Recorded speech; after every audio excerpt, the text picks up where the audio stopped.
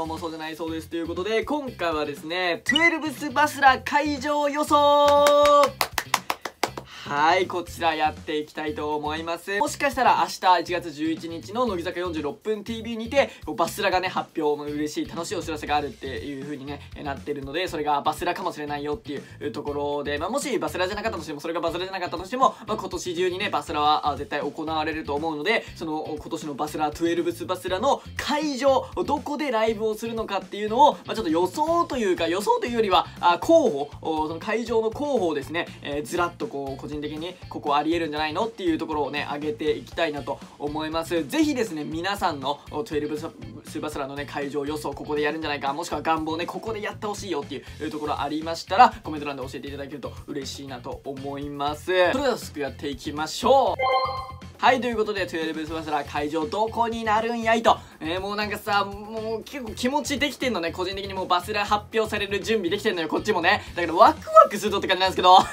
ね、明日来そうだなって感じでワクワクしてるさなかではあるんですけども、12スバスラね、どこで一体ライブするのか。まあ去年ね、11スバスラは横浜アリーナで行われましたけれども、今年ですよね、12スバスラ12周年で改めてすごいですよね。12よ、12。だって0歳の赤ちゃんが12歳になっちゃうんだからね、小6ですよ。で、とんでもないなっていう感じですけどね。トゥルブスバスラの会場候補、まず一つ目は、国立競技場ということで、まあ、個人的にはやっぱりね、関東でやっていただけると、行きやすいなっていう これはもう僕がね、住んでるのが関東だからっていう感じなんですけど、関東でやっていただけたらありがたいなっていう感じで、まあ、まず一つ目は国立競技場、こちらで東京都にある会場となってまして、えキャパがですね、6万7750人ということになっております。めちゃくちゃすごいです。めちゃくちゃすごいですよね。えー、で、まあ、この国立競技場っていうのは、乃木坂46はライブ過去をしたことがないっていうことで、もし国立競技場でテレビスバスラが行われることになれば、初めての国立競技場での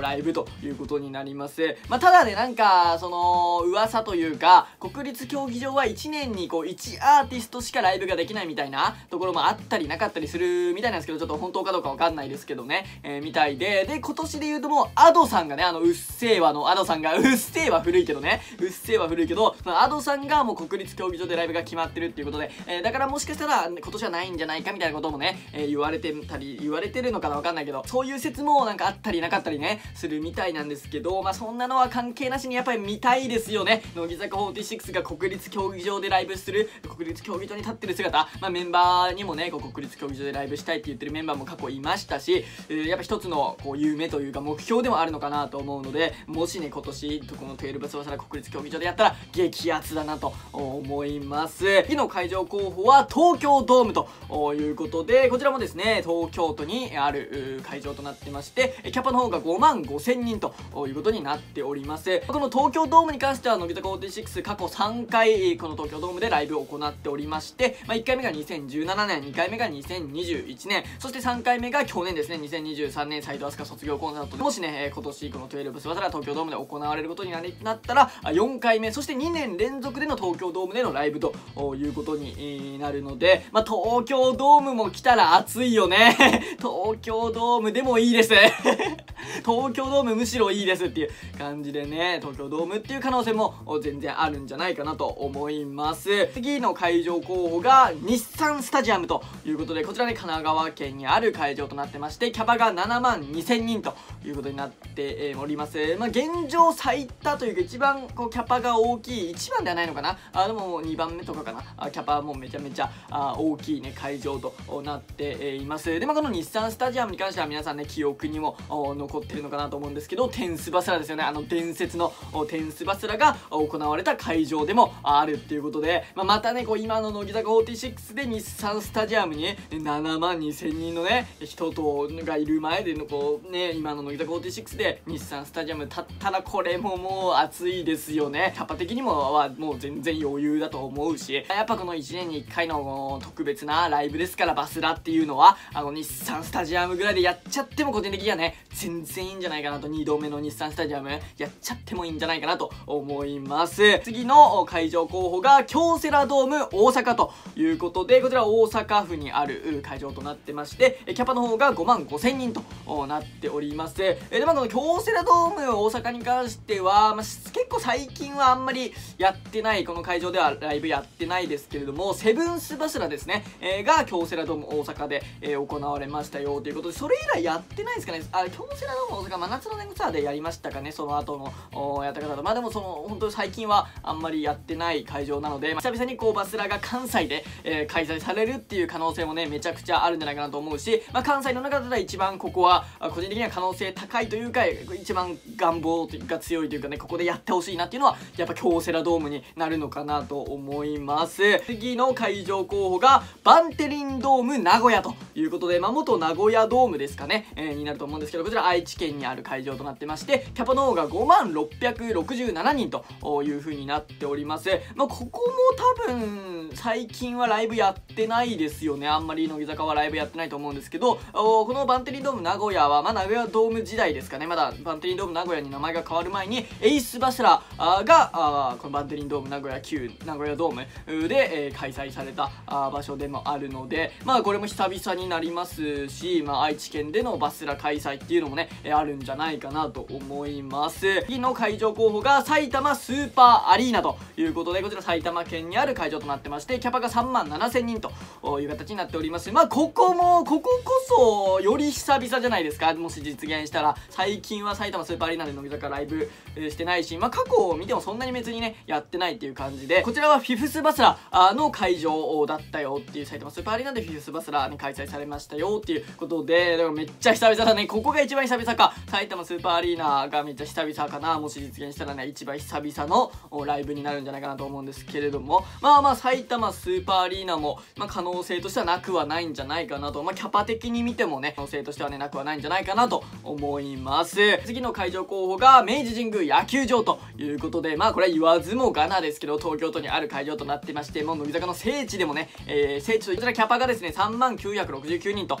いう風になっていまして、えー、でまあバスラで言うと fourth バスラ6バスラがあこの明治神宮野球場真夏の年草と同じく夏にこう開催されたよっていうね、まあ、6バスラに関しては秩父宮ラグラグビー場とこうシンクロニシティライブみたいな感じでしたけれども、まあ、 fourth バスラ6バスラで過去リングで開催されてるという感じになってますけども、まあ、今回も2月じゃない可能性も全然あると思うので12スバスラがそうなったらこう夏、まあ、夏の全国ツアーと一緒にというかあ同じでこうやるってなったら明治神宮野球場神宮でやるっていう可能性はね結構これはあ可能性高いんじゃないかなと。もし2月ってなったら可能性としては低いかなと思うんですけど2月じゃなくて夏にやるってなったら可能性めちゃくちゃ高いんじゃないかなと思います。次ラストですね会場候補が横浜アリーナということでまあこれなんで入れたかっていうと前回、えー、去年の会場だから一応入れてみましたで2連続の可能性もあるかなっていうことでね、えー、入れたんですけど、まあ、こちら神奈川県にある会場となってましてまあキャパがですね1万7000人と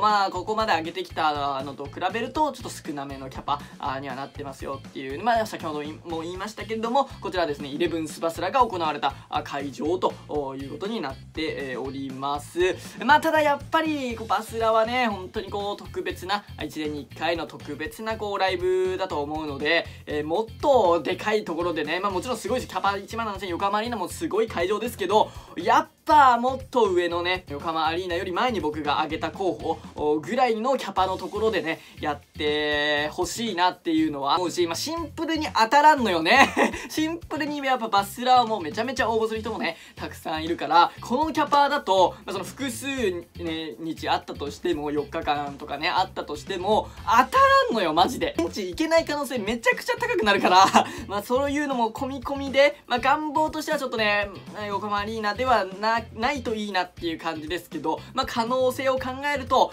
まあまああるのかな。2年連続、えー、横浜アリーナ同じ会場でバスラやるっていう可能性もまあまあなくはないのかなと思います。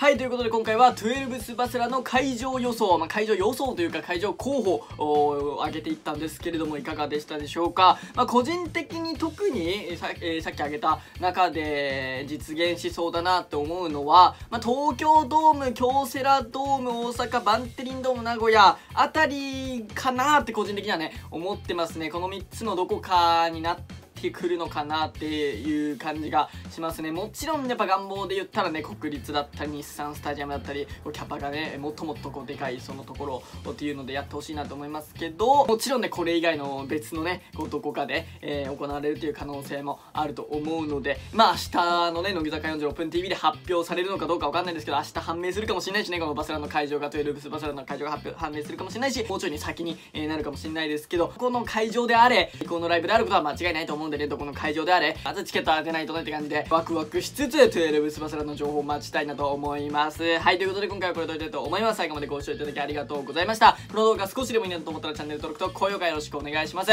Twitter と Instagram もやっておりますので概要欄からフォローしていただけると幸いです。バイバイ。